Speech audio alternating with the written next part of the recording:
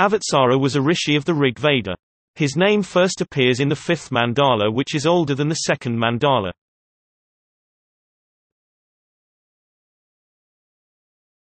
Topic. Background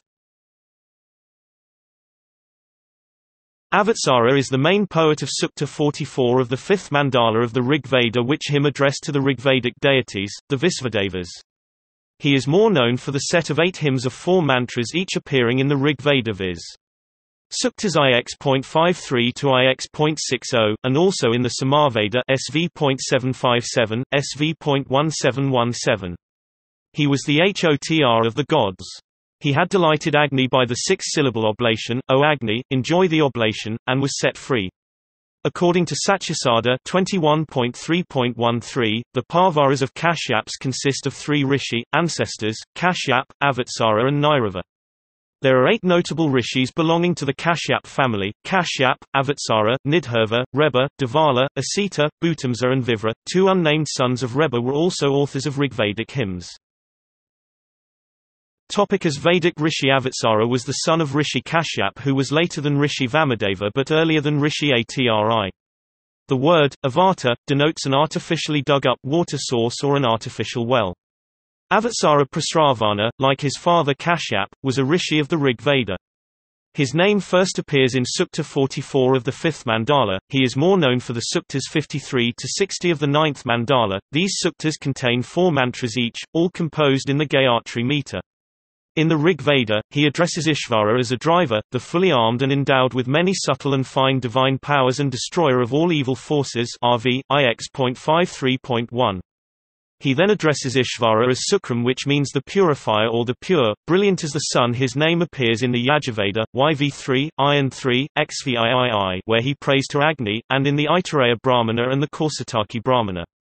From the verses of the Aitareya Brahmana AB, E.24 and Kaushitaki Brahmana K.B.VIII.6, both pertaining to the sacrifice of the five oblations, it is learnt that Avatsara had reached the home of Agni and had conquered the highest world. In Rig Veda Sukta IX.53, he reminds us that the learned people extract the wisdom of the ancients from the Vedas which are enlightening, and in Rig Veda Mantra IX.60.3 he tells us Arti Varanyavamano Asisyadkalsamabi Davati, Indrasya Hardyavasan that the Lord, in the form of knowledge and consciousness, resides resides in the cleansed mind and heart of the learned people and in the mind and heart of all those who know the Lord fully without being aware of knowing him.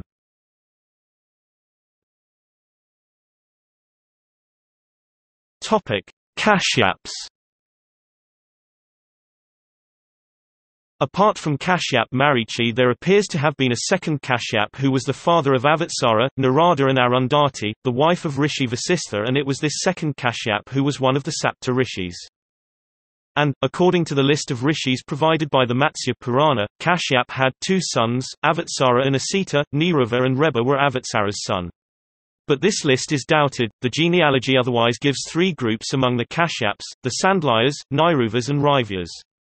The Pravaras of these Gotras have Rishi Devala who was the son of one of the eight Vasus. Thus this second Kashyapa Nirava, Sandilya, etc. Gotras descends from one of the eight Vasus and not Marichi Kashyapa. From Book IV Chapter 8 of the Srimad Bhagavatam it is learnt though Lord Maitreya that Dhruva, the son of Uttanapada through Suruti, and the grandson of Svayambhuva Manu, had by his first wife Brahmi, two sons, Vatsara and Kalmavatsara or Kalpa.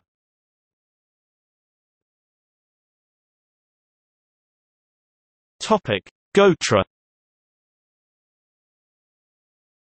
Avatsara is a pravara of Kashyap Gotra and also belonging to the two of the Sandilya variations.